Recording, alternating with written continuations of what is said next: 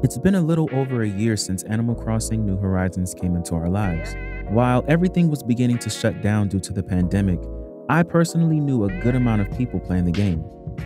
Now, this is all I ever see. It's starting to feel like I'm the only one still playing.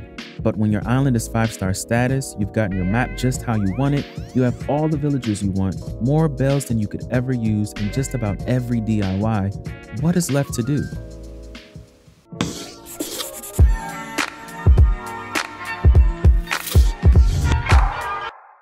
What's up YouTube, I'm Alonte and I'm back with another Animal Crossing New Horizons video. As more time goes by, I find myself having to defend why I still play Animal Crossing. I get it, the seasonal updates are lackluster and don't give much more to do than what we've been doing for the last year. There are two things though that keep me looped into the game and I want to share them. One thing is design. I've had longevity with this game because I have flattened my island three times.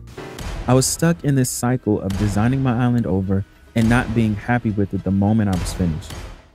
Flattening alone can take a week or more depending on how long your play sessions are, so when you're doing this two and three times over, it's definitely going to extend the longevity of the game. I continue to be flexible with my microenvironments and I modify them based on the seasons or whatever I'm into at the time. Another design project I'm always working on are island homes the interior of my buildings and the exterior of villager homes. Another thing I really enjoy doing is giving away items. I spend a fair amount of time on Nookazon listing high value items for free. It's kind of fun to make people happy and help them get the items that make their islands better. I even gave away all the Sanrio items when the amiibo cards first dropped, and that was a lot of fun.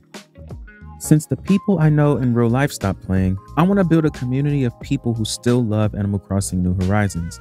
And that is what my Discord server is for.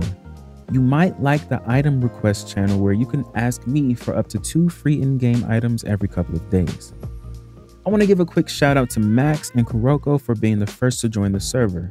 Hit the link in the description box to join us. Let me know in the comment section what keeps you playing Animal Crossing New Horizons, or why you don't play anymore. Till next time.